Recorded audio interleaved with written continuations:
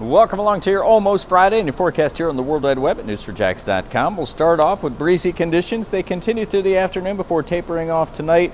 And we'll, our temperatures are going to be running cool here for this time of year. We should be in the upper 70s, lower 80s. We'll see 60s to lower 70s for the inland areas along the area beaches and up to I-95, mainly in the 60s. Pollen count is down a little bit from yesterday, but with the breeze blowing, it's still going to have that sniffle and sneeze dust out and about. It's Earth Day, it's green, so that kind of goes hand in hand.